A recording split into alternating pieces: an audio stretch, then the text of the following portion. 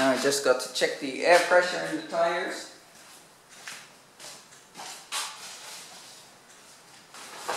Got an old printout here. B7100 but more or less the same. So we, these are Bridgestone farm tires. So the fronts are 11 to 14 psi. Because this is the four-wheel drive version and the rears are 17 to 23 psi. So we'll start off with the fronts. They are looking quite old and cracked, but because it's a, a tube tire, I'm not too worried. It's going to get noisy.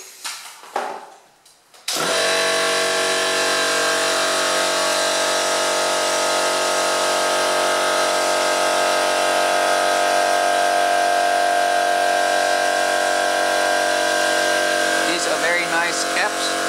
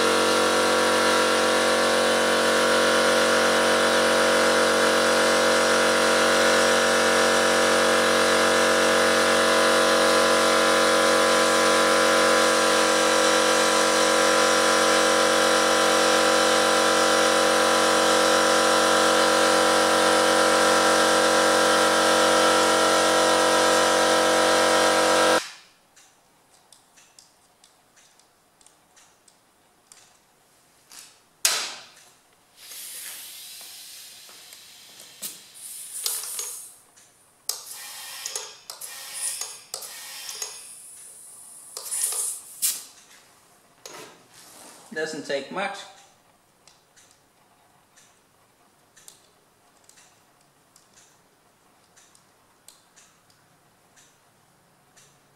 And it's a quick job.